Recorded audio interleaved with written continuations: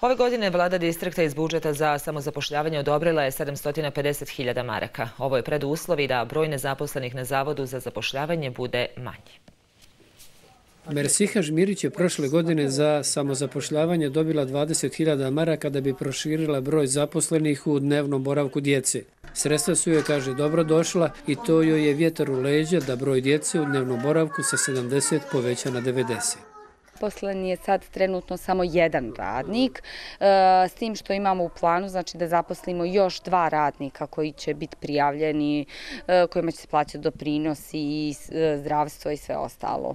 Osnovni kriterijum za dodjelu sredstava je rad na tržišnim principima i svaki projekat koji obezbijedi nova radna mjesta bit će nagrađen do 20.000 maraka. Vladina komisija koja privodi kraju kriterijuma između ostalog omogućit će dio sredstava iz samozapošljavanja i onima koji su do sada pokazali dobre rezultate biznis plan će biti u stvari ono što će komisija ocjenjivati na način koliko je taj biznis plan realan da poduzeće ili samostalni poduzetnik koji bude započeo svoj posao opstane na tržištu.